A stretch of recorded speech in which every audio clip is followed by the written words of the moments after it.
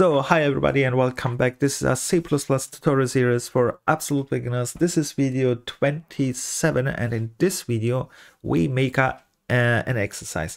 Very important, very important. And why it's so important? Because understanding just the keywords, um, it's easy, but to use them in context in a program, it's more important just than understanding it because when you write a program, when you make exercises, then you understand not only the keywords, then you understand how to use the keywords. And this uh, is very important that, no, that you understand how to use them, not just to understand them, that you know where to use them, how to call them, and what are their variations and differences. And this one things we want train here with a little program again.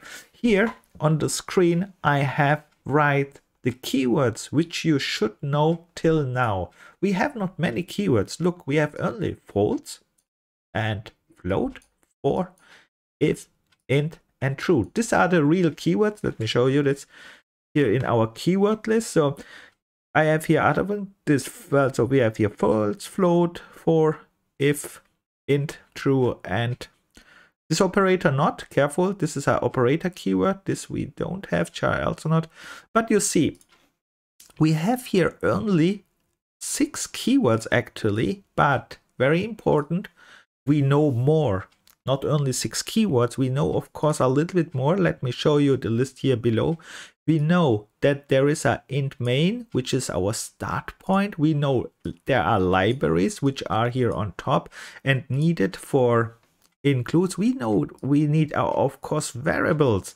Variables are the most important part probably of uh, programming.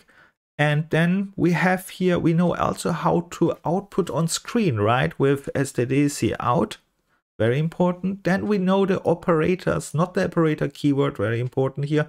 These are operators. We have here comparison operator, assignment operator, Okay, I forgot. We have, of course, the arithmetic operator as well. You know them probably too, right? So we know even a little bit more operators.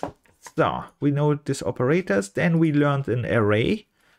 Uh, interesting is this array is sometimes in Visual Studio uh, it's like a it's like a keyword but in standard c++ it's not a keyword. That's very important.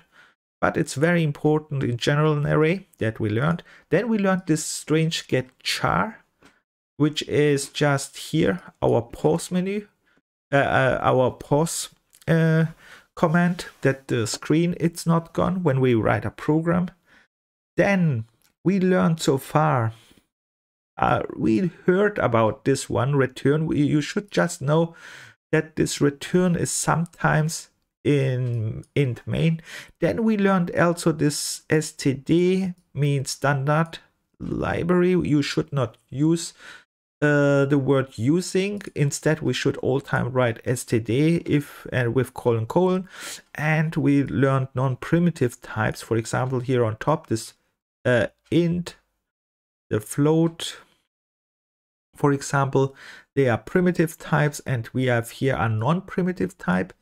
And a non-primitive type we learned that we uh, need this um, this in front this std the standard library then this colon colon. And very important if it's not a, a primitive uh, type then we have also include the uh, library for this one. So that's, you see, understanding them when I say them are very easy, but how we are using that in a program now, and that is very important that we train this.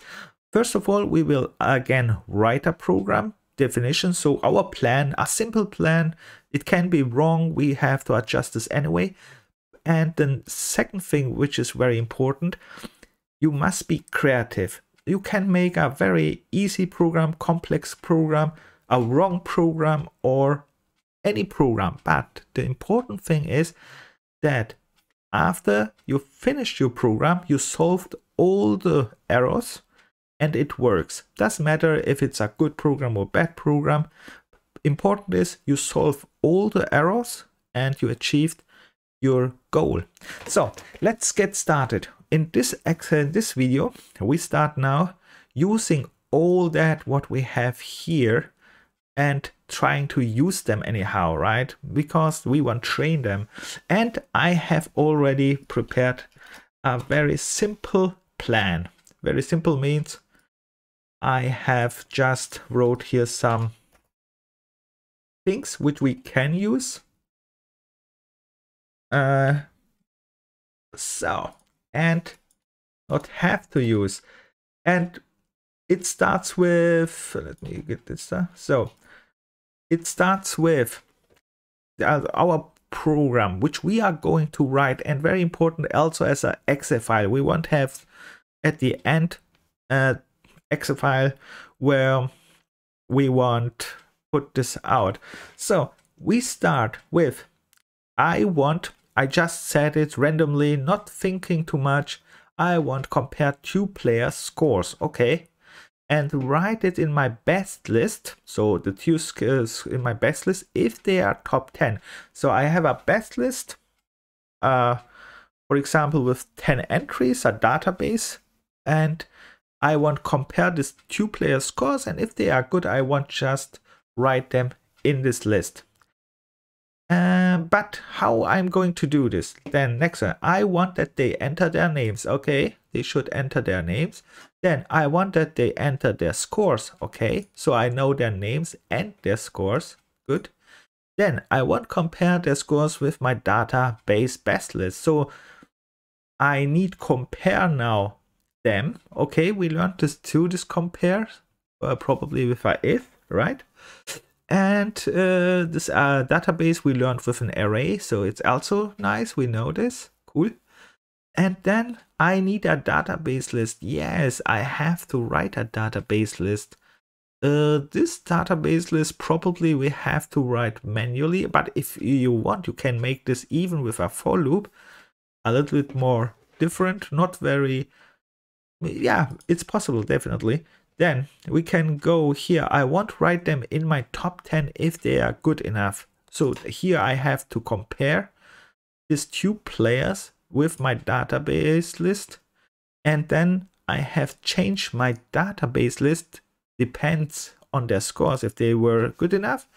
And then I want print out top 10 best list. So uh, which means at the end I want print out the top 10 uh, which means if they are included in this list, they will be printed out as well in top 10.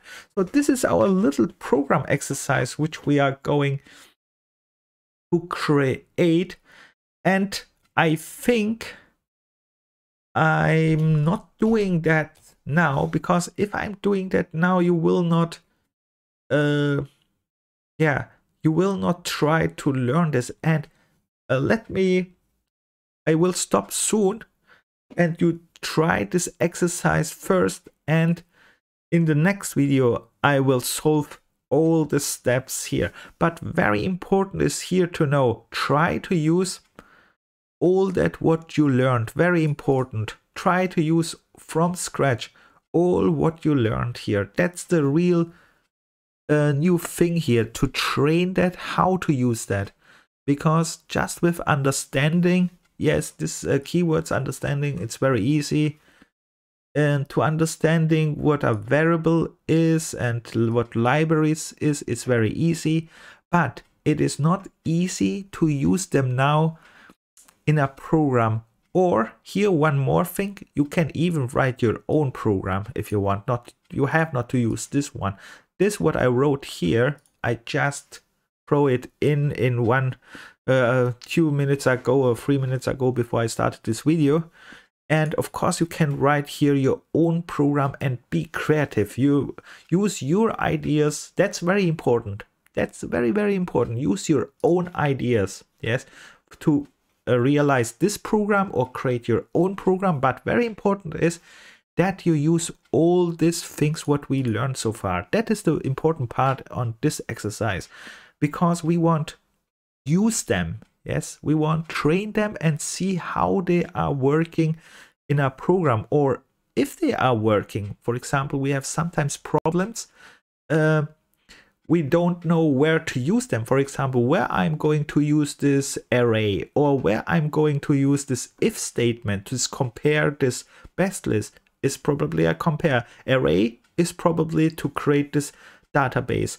And then how I print out this database is probably a for loop and so on. Be very creative, right? And yeah, I think I stop here because if I do now the, the exercise, you will probably just so just follow this one. And the real thing here is that you just learn how to use all these kinds on your own, on with your mind, with your creativity, and so on.